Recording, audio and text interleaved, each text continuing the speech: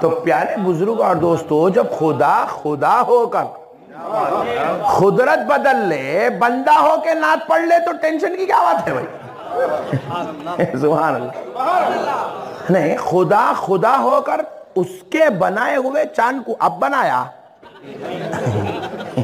آدم کو بعد میں بنایا، چاند کو پہلے بنایا۔ آدم کو بعد میں بنایا، چاند کو پہلے بنایا، بات حبیب پی کے آئی تو توڑ کے پھینک دیا۔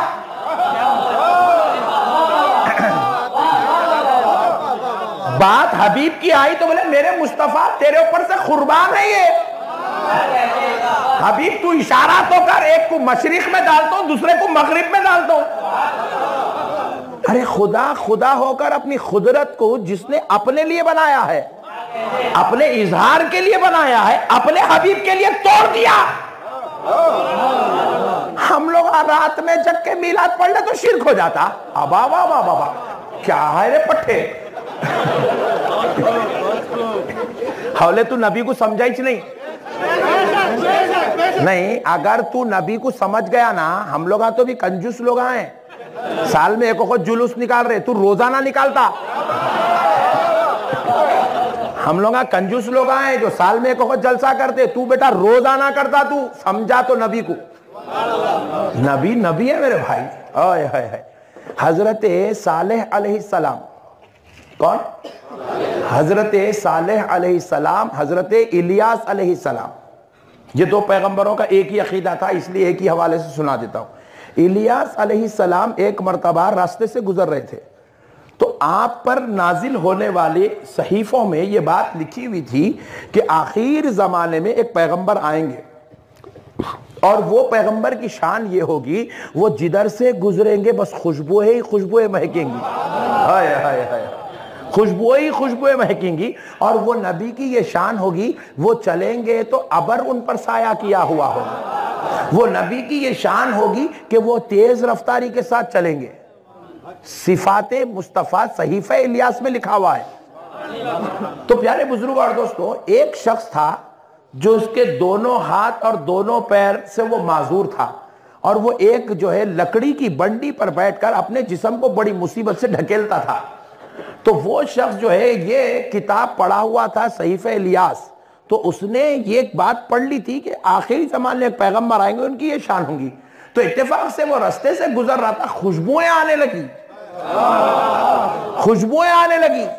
تو بڑا پریشان ہو رہا ہے۔ خوشبوؤں کا ذکر تو میں ان کے بارے میں پڑھا تھا۔ یہاں سے ایسے خوشبو آ رہی ہے۔ دیکھا تو کیا ہے ایک بزرگ تیز رفتاری کے ساتھ چل رہے ہیں۔ اور دیکھتا کیا ہے کہ ان کے اوپر چھاؤں بھی ہے تو چلا اٹھا، یا محمدہ یا محمدہ یا محمدہ۔ الیاس علیہ السلام جیسے ہی سنے کہ کوئی شخص محمد کا نام لے کر پکار رہا ہے۔ دوڑے دوڑے بھاگے بھاگے اس کے پاس آئے۔ دیکھے تو بڑا معذور ہے۔ اور حضرت الیاس نے اس سے پوچھا، تم نے کس کو پکارا؟ کہا، میں نے آپ کو پکارا۔ تو کہا، تو نے مجھے محمد کے نام سے پکارا؟ کہا ہاں ہاں میں نے آپ کو محمد کے نام سے پکارا۔ کہا، کیا کہا میں نے ایک صحیفے میں پڑھا ہے کہ آخر زمانے میں ایک نبی ہوں گے ان کا نام محمد ہوگا ان کی یہ شان ہوں گی وہ چلیں گے تو رستے سے خوشبو آئیں گی چھاؤں ابر ان کے اوپر سایہ کیا ہوا ہوگا اور وہ تیز رفتاری سے چلیں گے۔ میں نے دیکھا تو یہ صفات تم میں موجود پائی تو اس لیے میں نے سمجھا کہ تم ہی محمد ہو اس لیے پکارا۔ تو کہا سون سون میں محمد نہیں ہوں۔ میں محمد نہیں ہوں۔ کاش کے میرا رب مجھے الیاس پیغمبر بنانے کے بجائے محمد کی، گھوڑے کی نال بنا کر پیدا کر دیتا، تو فخر کی بات ہے۔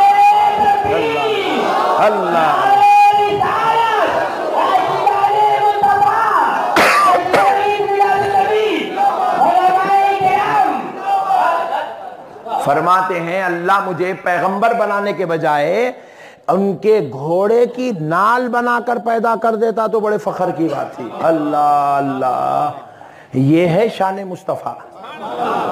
اب لوگوں کو جب ہم یہ عظمت مصطفیٰ بتائے تو ان لوگ کیا بولتے ہیں؟ نئے نئے مولانا، سب صحیح ہے اللہ کی عبادت کرنا، اللہ کے علاوہ کسی کو بھی شریک نہیں کرنا لوگ امت میں بولا میں بولا، امی کے پیرا پڑھنا۔ ہاں؟ امی کے پیرا پڑھنا۔ ابا کو پیرا مارنا۔ امی کے پیرا پڑھنا۔ ابا کے پڑھے تو امی کی عزت کم ہو جاتی کیا؟ زور سے بولو۔ اچھا ابا کے پیرا پڑے امی کو لائٹ لے لیے تو امی پوچھے، کیا رہے پوٹے خالی بابا کے پڑھتا، اما کی عزت نہیں؟ ابا کے پڑھانا؟ ابا کے پڑھا، خالی ابا کو مانتا میں، امی کو نہیں مانتا۔ ابا کھینچ کے دیے۔ دیکھے بولے، بیٹے، تم ابا سے نہیں آئے۔ ابا امی سے آئے۔ بات سمجھ میں آئی۔ ابا کو ماننے سے امی کی عزت کم نہیں ہوتی امی کو ماننے سے ابا کی عزت کم نہیں ہوتی۔ دونوں کو مارے تو مانے تو اس کی عزت بڑھ جاتی۔ یہ دیوانہ ایسی چھے۔ کیا بات ہے؟ رسول اللہ کو مانے تو بولتا اللہ کو نہیں مان رہے۔ ارے حولہ ہوگا کیا؟ اللہ اللہ ہے یہ رسول اللہ ہے۔ اللہ اللہ ہے اور یہ رسول اللہ ہے۔ رسول اللہ کو رسول اللہ بولے تو اللہ ناراض نہیں ہوتا، بلکہ اللہ خوش ہوتا۔ اللہ خوش ہوتا۔ اللہ خوش ہوتا۔ اللہ کو اللہ بولے تو رسول اللہ خوش ہوتے، رسول اللہ کو رسول اللہ بولے تو اللہ خوش ہوتا۔ اللہ کی عظمت بیان کرنے سے نبی کی بے ادبی نہیں ہوتی، اور نبی کی عظمت بیان کرنے سے اللہ کی بے ادبی نہیں ہوتی۔ اللہ کی عبادت میں اللہ کی تعریف کر۔ جلسے میں بیٹھا تو نبی کی تعریف کر۔ بات سمجھ آئی؟ نماز میں کھڑے ہو کے یا نبی سلام علیکہ، یا رسول سلام علیکہ، یا حبیب سلام علیکہ صلوات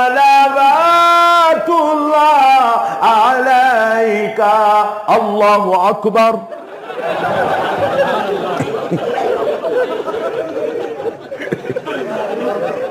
نماز میں کھڑ کے کوئی بھی سلام نہیں پڑھتا۔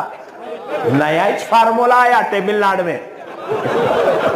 نماز میں کھڑ کے کوئی بھی سلام نماز میں کھڑے تو نماز اللہ کی عبادت ہے، اللہ کے سامنے ٹھہرا تو بول، الحمدللہ رب العالمین، الرحمن الرحیم، مالک یوم الدین۔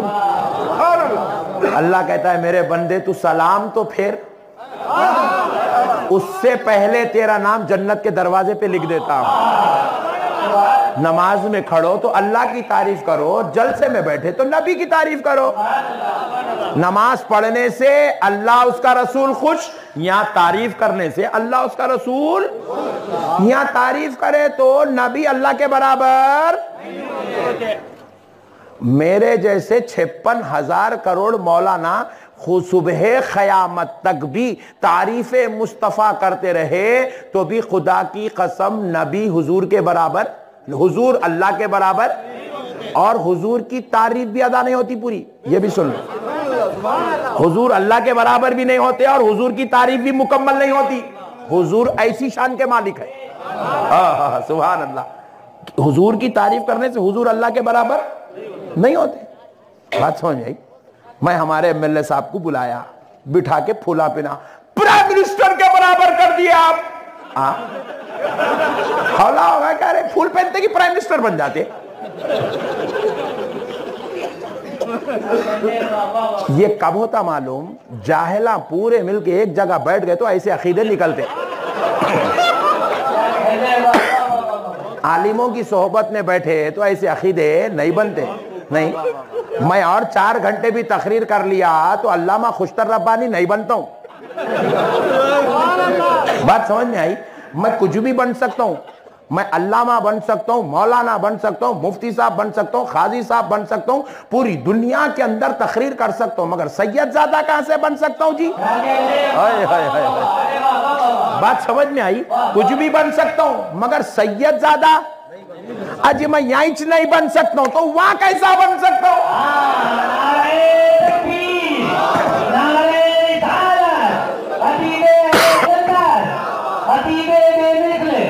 نعرہ تکبیر، نعرہ رسالت تو بات سمجھ میں آئی، حضور کی بارگاہ میں جا کے کلاٹیاں مارو، کلاٹیاں۔ تو بھی خدا کی قسم حضور اللہ کے برابر نہیں ہوتے حضور حضور ہے۔ حضور ایک اخت چاند کے ٹکڑے کرے، ایک سو ساٹھ اخت کرے بھی تو حضور حضور ہی چھے۔ حضور اللہ نہیں بن سکتے۔ بات سمجھ میں میرے حضور اللہ نہیں بن سکتے۔ اللہ اللہ ہے، حضور حضور ہے۔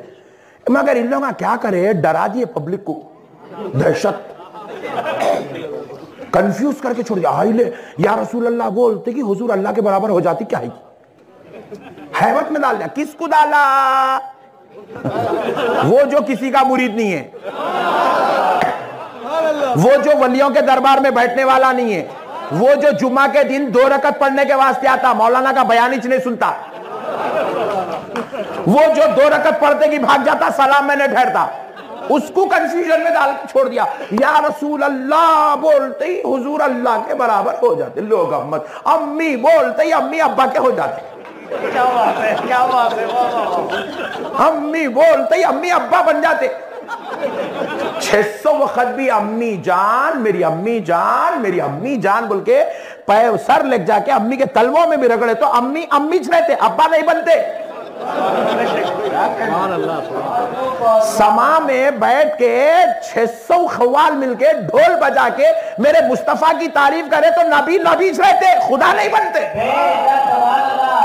نبی نبی کہتے نبی خدا۔ بس یاد رکھو ہمارے پاس شرک صرف تین چیزوں کا نام ہے۔ کتنے؟ ذرا زور سے بولو۔ ایک نبی کو خدا بولنا شرک ہے۔ نبی کو خدا کے جیسا بولنا، نبی کو خدا کے برابر بولنا۔ بس یہ تین چیزاں مت بولو۔ اس کے بعد تمہاری عقل میں جتنے جملے ہیں، اتنے پورے بولو۔ میرا نبی اس کا حقدار ہے۔ اسی لیے علامہ اقبال دیکھیے، واہ، سبحان اللہ۔ میں بول رہا تھا، حضرت قبلہ جو ہے، الحمدللہ، یہ ہے دیکھیے آپ، سادات اکرام۔ اسی لیے علامہ اقبال کیا کرے بعد از خدا بزرگ تو ہی، قصہ مختصر۔